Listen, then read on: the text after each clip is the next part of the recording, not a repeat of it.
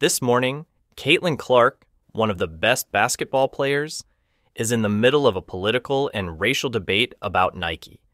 Nike hasn't made a Caitlin Clark shoe or even put her in a commercial, even though she's had a lot of success, like winning WNBA Rookie of the Year unanimously. They instead focused on getting other athletes, like A'ja Wilson, more attention. Since 2021, Nike's business has been going downhill, and some people have even asked their CEO to step down because of the company's problems. Even so, Caitlin signed a great deal with Nike in April for eight years and $28 million. Many people were looking forward to a signature sneaker, but Nike's delays have made fans wonder why she hasn't been treated like LeBron James, whose signature shoe was made right after he turned pro. The story took an unexpected turn when it came out that the A'ja Wilson sneaker had been in the works since 2023 and would not be released until 2025.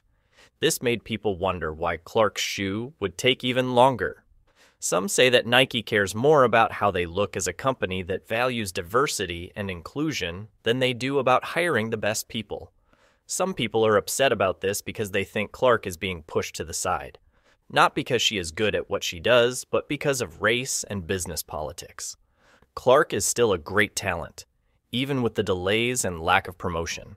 She has broken records, captivated audiences, and brought the WNBA more attention than ever before. In fact, more than a million people watched her playoff games, which is a lot more than the average WNBA crowd. Even Team USA felt bad about leaving. They took her off the team after she had a great first season. Clark's parents wouldn't give her her own sneakers because they were afraid of the reviews she would get on social media.